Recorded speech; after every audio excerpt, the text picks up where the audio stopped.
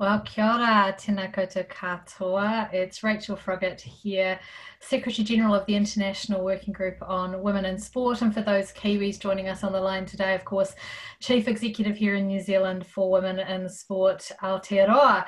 So, welcome to the very last episode in our series Leadership from Lockdown in partnership with Trans Tasman Business Circle Sports Connect.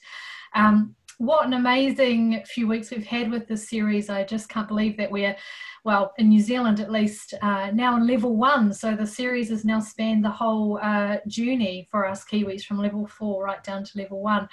Uh, and as we are starting to move back into, I guess, some semblance of, of normality and some semblance of, of real life, um, we thought that it would be a wonderful opportunity to close down this series and move forward with some, some other ideas. So tune in next week for a couple of uh, quite exciting announcements then. So um, today we're and, and, and I was just having her on about this. We're signing off with um, an amazing uh, final speaker for the series, uh, someone who is uh, not only of huge stature within the athletic community, but uh, as of yesterday was announced uh, as as keeping her job. I shouldn't say it that way, but being reappointed as Disability Rights Commissioner in New Zealand for the next five years, which is a really significant appointment um, for us here because she's continuing to do an amazing job. So just before I introduce her a couple of bit of uh, housekeeping. For those of you that are regularly with us, you'll know that we'll ask questions for about 15 minutes or so, and then we'll open the floor and you can ask whatever you like to our guest speaker today. Towards the end, we'll open a very quick poll just to check uh, how you guys are feeling now, 10 weeks into, into lockdown, uh, and how you're feeling about the future as we go forward as a, as a country and as a world uh, dealing with COVID-19. So uh, the final, uh, I guess, comment I'd make here is um, you're all going to have to suffer me as moderator this week. So I'm stepping into some very large shows after Rikki Swannell and Zoe George have uh, very competently handled this, this season for us.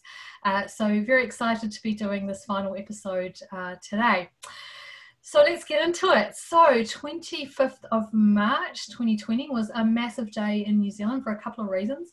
One was because we entered unprecedented level four lockdown and we were all uh, assigned to go home and to stay there for a four week period. But it was also the exact same day that the Tokyo 2020 Olympic and Paralympic Games were also announced as being postponed by 12 months. So suddenly training and preparation by our Paralympians and our para athletes worldwide came to a sudden and very unexpected halt. Uh, and we were dealing with athletes who had been in very, very intense training up until that point, who suddenly weren't even allowed to, to leave their homes. So a very significant change. This week we're talking to Paula Tesoriero, Chief de Mission of the New Zealand Paralympic team, and as I mentioned, New Zealand's Disability Rights Commissioner.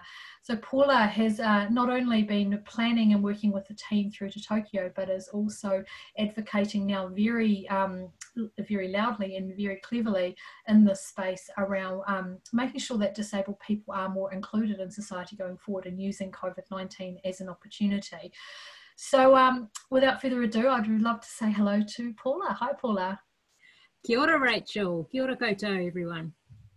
Well, first of all, congratulations on your appointment yesterday, um, an, an amazing one. How are you feeling today about that? Uh, thanks, Rachel. I feel very privileged to be in the role that I'm in, the opportunity to help make a difference for disabled New Zealanders is just such a wonderful opportunity. So I'm, I'm, I'm very happy. Thank you. And of course, um, you've you've spent the last 12 weeks in, in lockdown. How has that uh, been for yourself and, and for the family?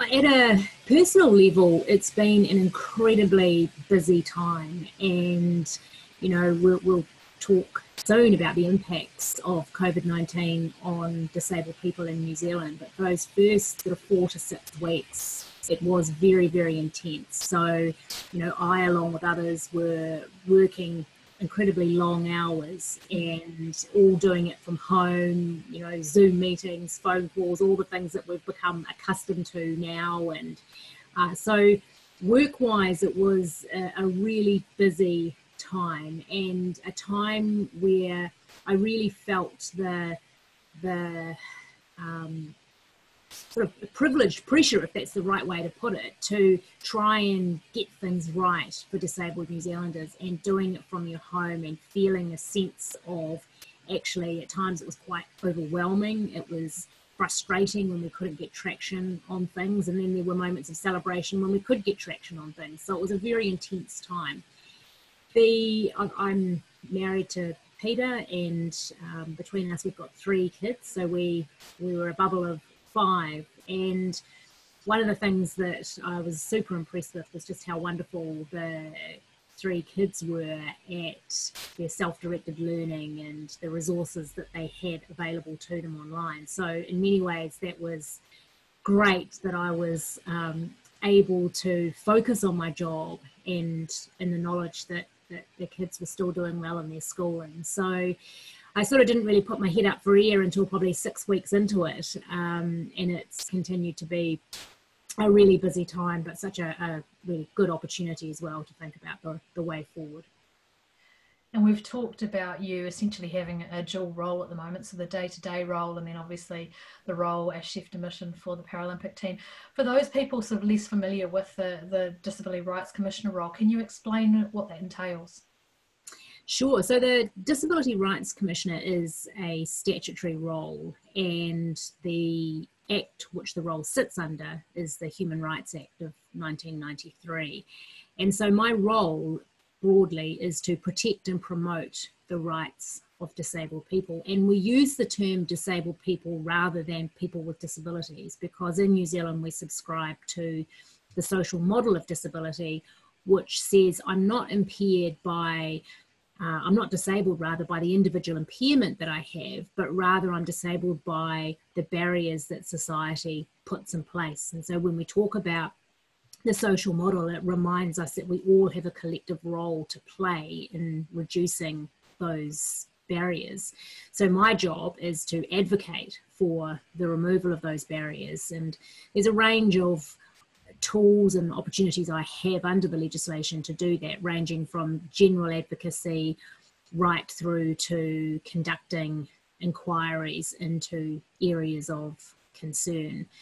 So the, I, my role sits within the Human Rights Commission. We're a national human rights institution, um, which obviously a, a, number of countries around the world have. And broadly, our role is to make sure that the human rights of all New Zealanders are upheld. And then on the chef de mission side, that's a very different role again. Um, and you've been an athlete for, for many, many years. And obviously, uh, uh, for those who, who perhaps um, are, a bit younger, maybe didn't didn't see Paula win a gold medal.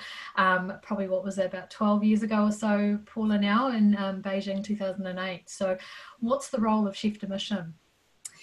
Uh, certainly doesn't feel like 12 years ago that I won my medal. Um, many ways it feels like yesterday. But the role of chef de mission is really about leading the New Zealand team uh, into and at the Tokyo 2020 Games. And there's a, a, a couple of distinct parts to that. One, you know, my role really is about making sure that the environment in the Games Village is such that our athletes and their support staff um, will perform to the best of their ability. And that means I've got a role in making sure that athletes have what they need, that the support staff have what they need, and also that all of the planning and the steps that we're taking going into the games are such that give me confidence that when we're there, our team will be well placed to deliver the 22 medals that we have as a target to deliver with with 10 to 12 of those being uh, hopefully gold medals. So you know really big expectations on delivering medals and delivering results and my job is to make sure that we have an environment in which that can happen. And then there's a degree of um, being the public face in a sense of the New Zealand team. So if there's um, media that I need to respond to or talk about um, publicly what's happening at the games, then I'll be doing that. I mean, obviously, we want our medal winning athletes to be the stars uh, from a media perspective, but there is that role in making sure that the New Zealand public are aware of what's going on and, and dealing with any issues that come up. And then I think there's another part of the role which is about um, making sure that we're working with our stakeholders, with our key partners, both here and in Tokyo, to make sure that we're doing everything that we can to deliver the results that we want to deliver. And uh, you talked a little bit earlier about obviously the role of the, the Disability Rights Commissioners to protect and promote the rights of disabled New Zealanders. Can you tell us what's happened over the last 12 weeks? You know, I, I read an, um, an article from you yesterday actually where you outlined some of the very difficult challenges that our disabled people in New Zealand have faced. Can you talk us through that? Absolutely. So I think one of the realities about COVID 19 is it's really shone the light on existing gaps that have been present actually for decades.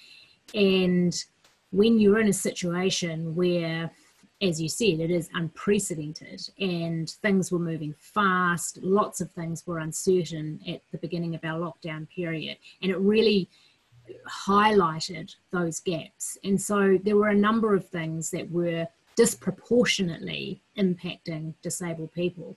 And I think one of the things that's important to bear in mind is that you know disabled people started from behind, so we were probably going to go through this journey always a bit behind.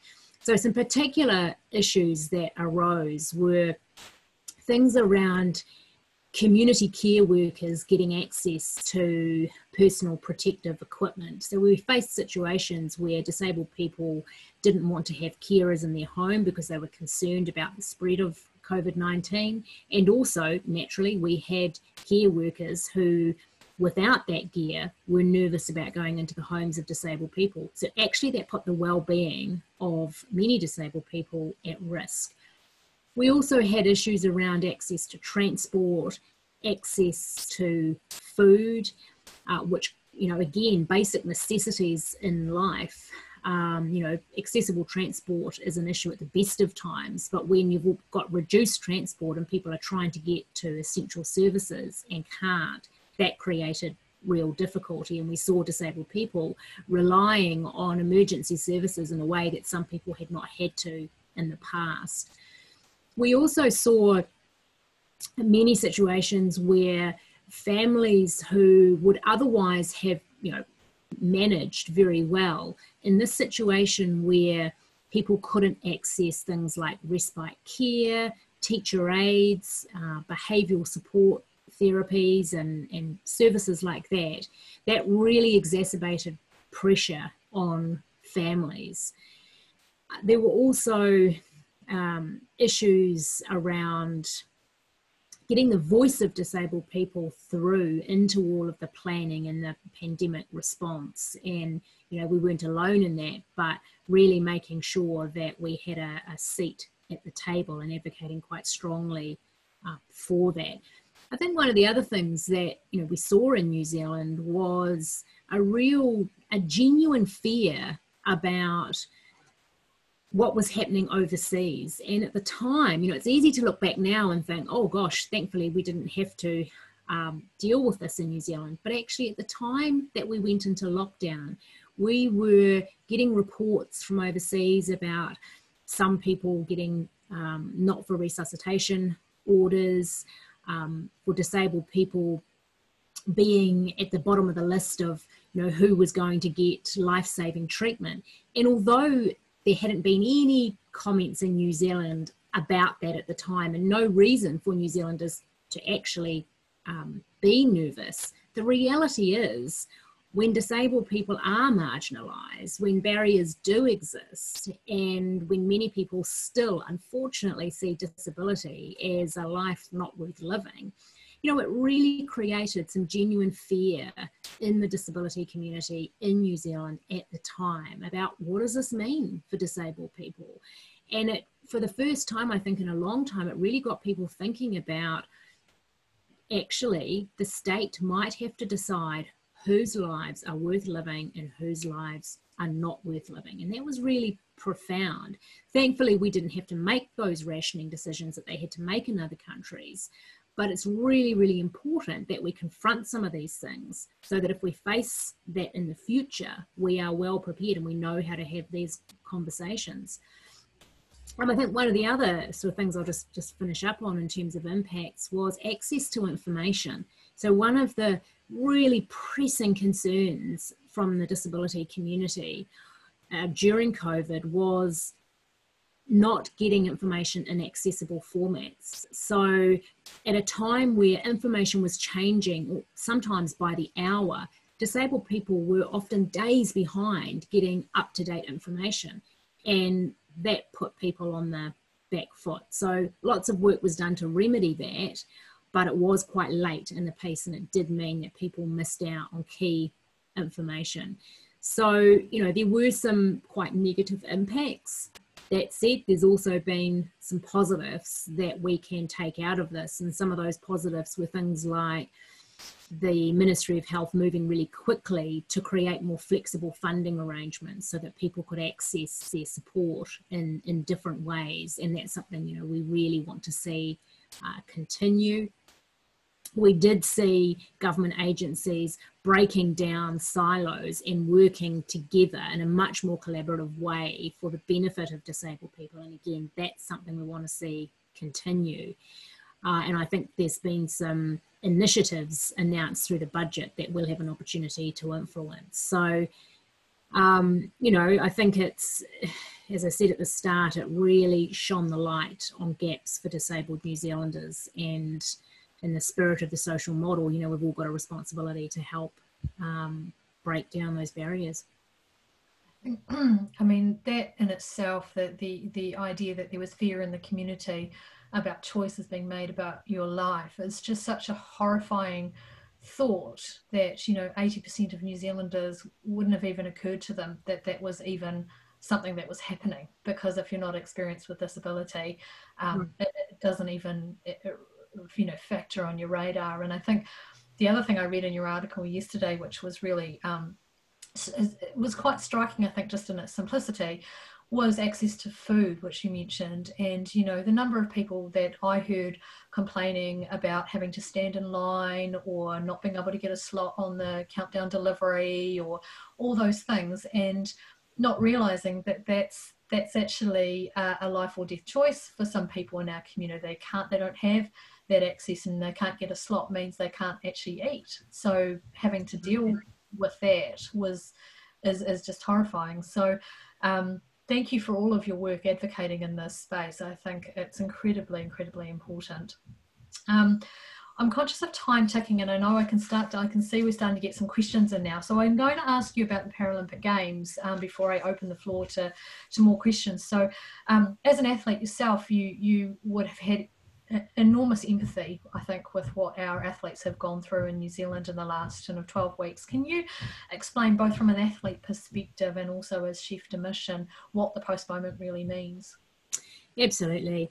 Look, I think, you know, this, most athletes um, will have probably this year done what I did in the, in 2008 when you woke up in that new year and it was, you know, this is the year of the games, everything you've been working towards. And, uh, you know, this has has really caused a shift and a, and a need to to reset plans and goals. And um, you know, I think we need to acknowledge that that's pretty profound for for athletes. And some athletes will do the reset uh, and, and look positively towards the games much more quickly than some other athletes will be able to do.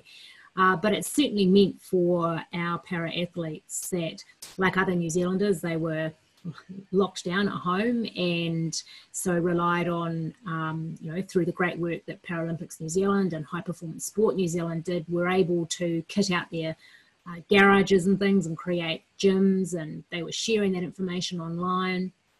Paralympics new zealand also made sure that our athletes had access to their coaches to sports psychologists to sports nutritionists and all the ordinary athlete services um, you know in, in an online way and did everything they could to to support athletes. And uh, I think the, the big challenge really uh, now is replanning, resetting towards the games, making, you know, really hoping, I guess, that the rest of the world's response to COVID um, gets to the a similar place to New Zealand, so that we, you know, we have full confidence in next year.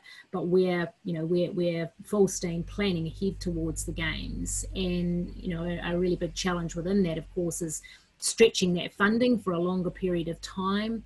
We know that, you know, 35% of the funding for Paralympics New Zealand comes from uh, non-government sources and at a time when the economy uh, has been you know so impacted through this that's going to create challenges uh, for all sport but in this case for for paralympics new zealand so um, they are working very hard and very closely with partners to try and you know, remedy that as we we head in. So look, it's been a it's been a tough time um, for you know, for everyone, and I guess you know our athletes are.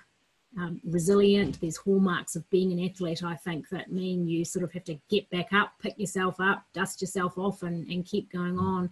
But I don't think we should underestimate the impact and, you know, the profoundness of that. And, um, what it takes to really reset and move everything a year a year away.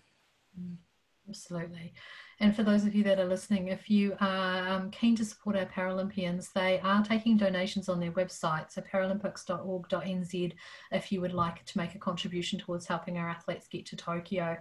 Um, so we've got quite a few questions now, so I'm actually going to open up to the floor. So anybody who's sitting there and has a burning question, please do drop it into uh, the chat function and we'll start uh, working our way through them. So this first one's a really interesting one. So, and it is a question around how does the increased movement towards working from home open up opportunities for disabled people to be more engaged in, in business and uh, in careers?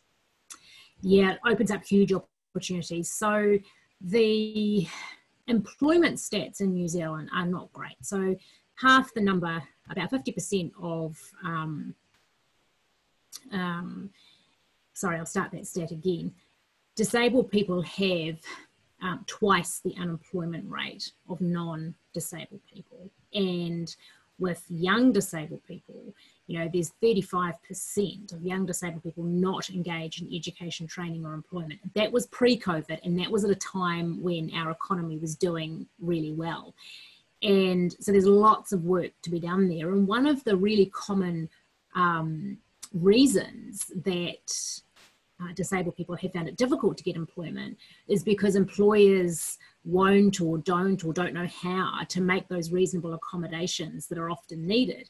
And the biggest reasonable accommodation actually relates to location and flexible working hours. And so often disabled people have uh, missed out on roles or not been able to apply for roles because there hasn't been that reasonable accommodation.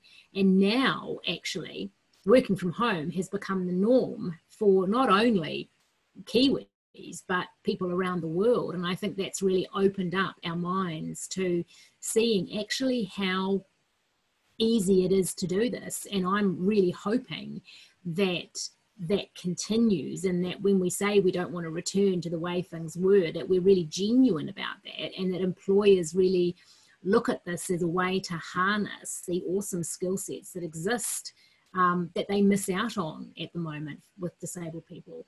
I think the other thing is, you know, this this interesting time we've been in has focused our minds on thinking about technology and what we can do with technology.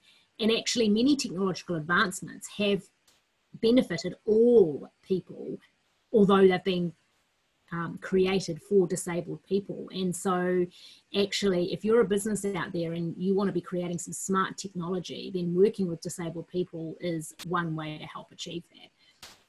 So, I think there's huge opportunities in the em- employment space for disabled people coming out of this, if, especially if we are really genuine to that idea of holding on to flexible working options. And I think one of the things, obviously, that um, is quite prevalent is, is unconscious bias within within the employment environment. You know, is is this a, an opportunity to reset? You know, can New Zealand become more inclusive, and how how do we do that? that's always my hope that we continue to be more inclusive. You're right about, you know, there are a number of myths around why employers um, are reluctant to hire disabled people, and actually, when you know, you can really bust those myths down actually, and they just they just don't stack up to the evidence. And also um, stigma and low expectations that people can often have of disabled people. And, you know, we've got a, I think, a, a responsibility and an opportunity to really um, create a social change movement, which is, you know, in part what Paralympic sport is all about. You know, one of its key goals is creating that social change movement, and you know, big opportunity um, to do that coming out of this. And you know, I I think that we have to seize the opportunity to really create a more diverse um, and, and, inclusive New Zealand coming out of this. We're going to see, um, you know, we're already seeing inequities that have um, been generated through COVID, and we've seen inequities that have been highlighted that have already existed. And you know, a, a, way in which we can start to address those is by creating a much more inclusive New Zealand and, and having equity as a real focus of, of where we get to. And it's, it's quite a good um, transition into one of the questions we, we have here, and a question I have as well, uh, is obviously you're you're very active within the women in sport community still, and we see you quite often at, uh, at different parts of, of, of that sector. You know, this inclusivity, how do we extend that into sport? And and I'll talk about that with through the gender lens, but also through the disability lens. Can we do better in sport?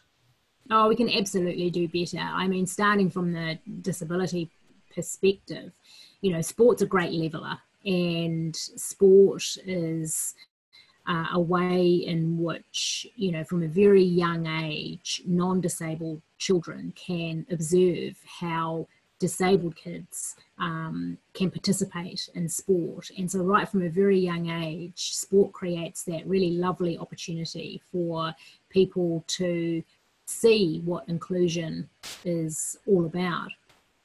I think from a gender lens, um, you know, Paralympic sport has, um, you know, has come a long way on that front. So, in at the Rio Games, there was, you know, more, there was double the number of female athletes that there was back in 1996 in, in Atlanta.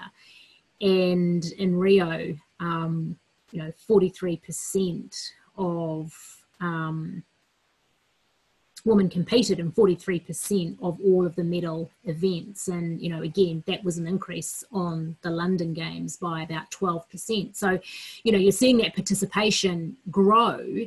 Um, but that said, the number of people who stood for the number of women who stood for the IPC board, um, you know, is still lower than than we would hope. So I think, you know, we've we've all got those challenges. And i think that um, you know women um, across all abilities and across all types of sport um, you know have faced over the years that that um, push for equality. And when you add impairment um, to that you've sort of got that double whammy or that that sort of what we call intersectionality between those two identities. And I think the you know the the big challenge um, for para athletes is not so much about the gender, um, although that that is a, a, focus and it's one that both the International Paralympic Committee and Paralympics New Zealand are really mindful of. I think actually the bigger challenge is that equity between parasport and non-parasport. You know, I still remember, and admittedly it was 12 years ago and we've come a long way, but you know, the the celebration of um, and, and recognition of my gold medal was poles apart from Olympic gold medalists. And you know that really sticks with me as, as such a, a point of inequity. And um, you know so i think for para athletes there is that that double whammy of inequity. And you know, I always encourage women's organisations to really focus on the fact that women are not a homogenous group of people. You know, we, we have multiple identities and we need to do better across all fronts. And that transitions quite well into this question. So we see the areas of sport and recreation merging. So where does this now enhance opportunities for people with disabilities or disabled people, to use your phrasing, to participate in community sport? I think you know community sport is is where it all starts, right? It's that pathway towards elite um, competition, and you know both uh, Paralympics New Zealand and organisations like the Halberg Foundation here in New Zealand do do great work at um, trying to open up opportunities for young disabled people in community sport. I think the the the trick is for every club in every national sporting organisation in New Zealand to think about the disability lens across their sport. Is their sport accessible? Is their club accessible? Um, is there representation on their board, on their club, you know, membership and secretariats, and you know, how can they make their sport more accessible. And I'd encourage clubs and sports organisations to touch base with Paralympics New Zealand, with the Halberg Foundation, um, and you know try and make your sport more accessible because you know it, access to sport and rec it is one of those rights that we've enshrined in the international convention on the rights of persons with disabilities and new zealand signed up to that we've all got you know obligations and responsibilities around that. The government's uh, recent package of um, budget announcements also will be investing more in this area. And, you know, I think that it's not good enough to be a club anymore in New Zealand and not have that disability lens to what it is that you're doing. 24% of um, New Zealanders are disabled. It's a huge share of the population. And, you know, sport and recreation is critical for everyone. And it's interesting just to touch on a, an earlier point you made.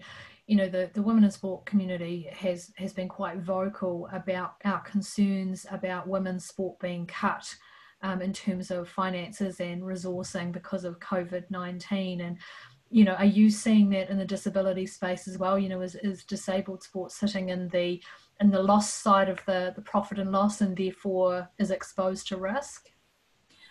Oh, I, I think all sport is exposed to risk right now. And um, I, I, think particularly when there is that, that uh, reliance on government funding, but also a, a, share of the funding that comes from um, the private sector and um, you know other charitable sort of donations and things you know all of that's going to be slimmer in this environment. And so that is going to i think require a change in in the way that sports organized the way that it's run.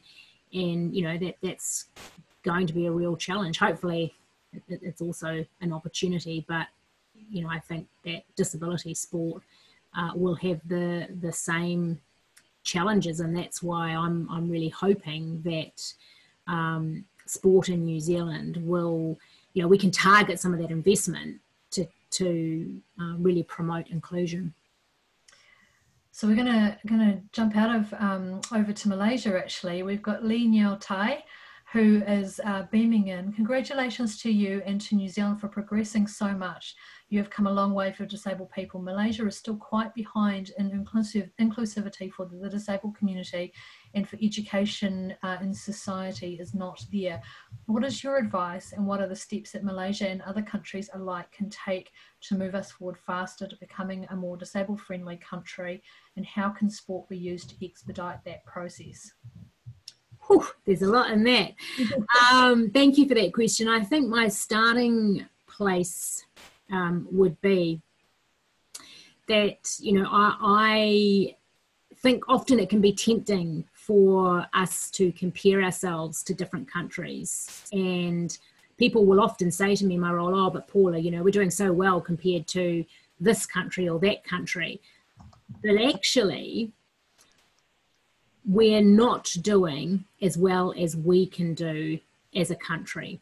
And that's by our own standards, but also, you know, the, the United Nations have told us in our first examination of how New Zealand's going against our international obligations, they've said, you know, we're not doing well enough and we need to do more.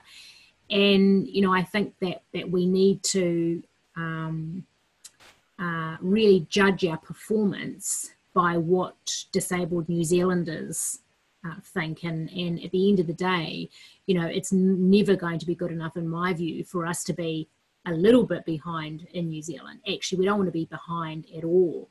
I think to offer some thoughts and reflections for other countries, you know, I, I think obviously being party to the UN Convention on the Rights of Persons with Disabilities is, is pretty pivotal. And what that does is then create those domestic obligations um, within countries.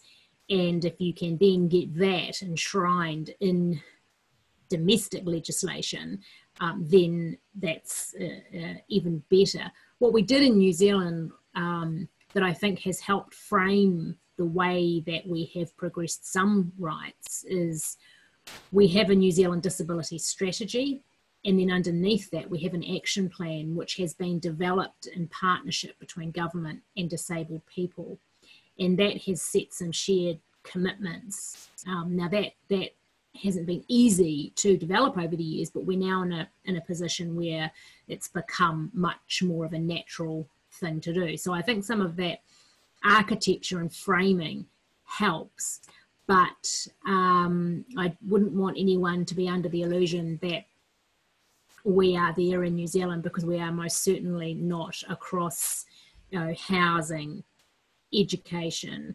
transport, a lack of data about disabled people, uh, our employment stats.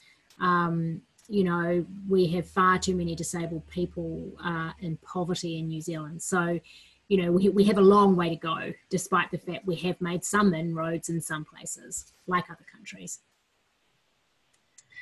Another question here Can you share the changing role for carers in the future? Will there be more demand? And if so, do we have the labour force to meet those needs? Um, no, we don't have the labour force at the moment. Um, that workforce development and, and how we actually cater for our older, um, you know, we have a, an aging population in New Zealand and we have, um, you know, our, disability population. And uh, so we, so workforce development's a really big thing. And the role of carers, um, I think will it will change as uh, in the sense that the model now that New Zealand is trying to move to is around disabled people having the choice and control over who cares for them. So in the past, it's been well, here's your selection of organisations, and now it's it's much more geared towards what do disabled people want at an individual level, and I think that's going to change the nature of uh, the way organisations operate. It opens up opportunities for families to also care for people. There's been some changes in respect of that, and also um, you're going to see people um, who can contract with individuals to provide their care. So um, lots of changes in that space. Um, it's it's referred to as system transformation if people want to go and find out more about it on the Ministry of Health um, website. And uh, another question, you describe the definition of disabilities as extending beyond the physical. Where does your work actually end if socioeconomic barriers are? um, Another question. yeah, so the um, the way that the International Convention uh, talks about disability is it is um, it's physical, it's um, um, psychological, sensory. Um, it covers a, a, very broad spectrum. And so, to the extent that, um, you know, I talked about the social model and, and the barriers that exist, those barriers are across um, most every facet of, of life. So, you know, I think I pretty much deal with almost every government agency, obviously some more than others, but, you know, there, there's no service or, or um, product that is created in New Zealand that doesn't have to meet the needs of disabled people. And so uh, it's, it's a very broad ambit in that respect. And, you know, I work with stakeholders um, who represent people from all types of different impairments. And it's one of the things that I love about my job because I've really grown and learned about such a wide range of impairments that I was less familiar with, you know, a decade ago. So we've probably got time for one or two more questions. So uh, here's a here's a big Paralympic one. Um, you medalled in Beijing and now you lead the New Zealand team to Tokyo. Are there any differences between competing in Asia compared to competing in the rest of the world for disabled people? Ooh, that's a really good question. Um, I think I'd be I'd be interested in other people's views on on that. I think that um, I'm not I'm not sure so much as I'd see it as sort of um, almost kind of e- ethnic based. I think different parts of the world, um, in terms of attitudes towards disabled people, in terms of socioeconomic status, um, how far the rights of disabled people have been advanced. I think all of those things um, impact. And, you know, I think that, you know, one of the um, things that was talked about in Beijing and it's been talked about around Tokyo, um, but it also was talked about in London was how do you use the Paralympics to really create that that that driving power of um, inclusion and you know i don't i don't think in my mind i don't necessarily see it as as different ethnic groups that are more advanced than others i think there's a wide range of things that go into that that are probably too complex to get into today but yeah thank you for the question well, I can see that Sharon's popped up, so I'm going to ask one last question, then hand over to her to uh, to wrap things up. Um, and I'm going to pick this one because it actually feeds into a, thought I'd had earlier when you were talking about COVID-19 and the impact on on our um, disabled Kiwis. So, where does your work end and mental health issues in organisations start? And my question is, has lockdown adversely affected our disabled community in New Zealand? And are you seeing an emergence of mental health issues, for example? Uh, so, in terms of my work around mental health, yes, um, it, it, it, absolutely is included in that definition of disability. Um, and uh, so, very much, I, I have an interest and an involvement in, in, um, in that area of work like I think that time will mm-hmm. tell. You know, we we are a country um, that has really, you know, been grappling with some very significant issues around mental health and and suicide, and you know, lots of work has been done to really try and and and change all of that, and you know, big investments made last year to address some of that. My um, suspicion is that we will see an increase in the number of, of people wanting to access different types of support services. And I'm basing that really only on the likely scenarios of, you know, the impact on our economy, the um, social impact um, and inequities that have already um, arisen through COVID and, and will be with us for the coming years. And, and, you know, if we get another wave of this, then it's another very difficult period to go through.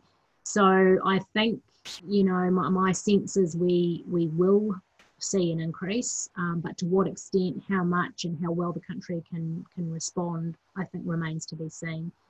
Um, but I think that you know a really perhaps a nice way to finish that question is is that sense that we are all in this together. And you know that's been a real sort of catchphrase from the beginning of this, and I think you know we we need to look to our communities, we need to look towards each other, and and really keep an eye out for each other.